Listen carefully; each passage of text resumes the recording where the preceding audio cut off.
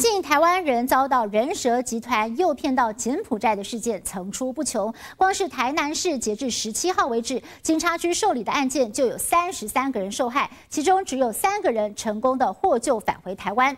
对此，台南市长黄伟哲也寄出了重金奖赏，全面启动拦阻海外求职诈骗，呼吁旅行社只要协助把关，根据规定成功拦下一名受害者，就发两万块钱的奖励金。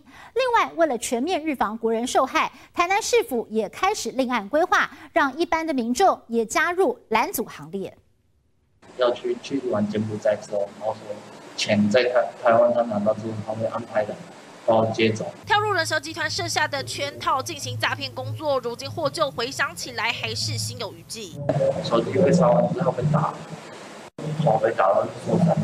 没想到逃亡竟然会在自己人生中真实上演。这名来自台南的李姓少年，就是飞往柬埔寨受害活生生的例子。几乎都是如出一辙哦，这就是以高薪，然后免住、免免宿，一切都是招待的。这种方式来引诱，光是台南市截至十七号就有三十三人受害。台南市府也祭出政策，全面启动拦阻海外求职诈骗。市长黄伟哲也宣布，只要旅行社业者协助把关，通报警方，成功拦阻飞往柬埔寨疑似遭诈的民众，一位就重赏两万元。市政府他也很确切的，我们寄出了奖励办法，希望我们旅行同业先进，能够。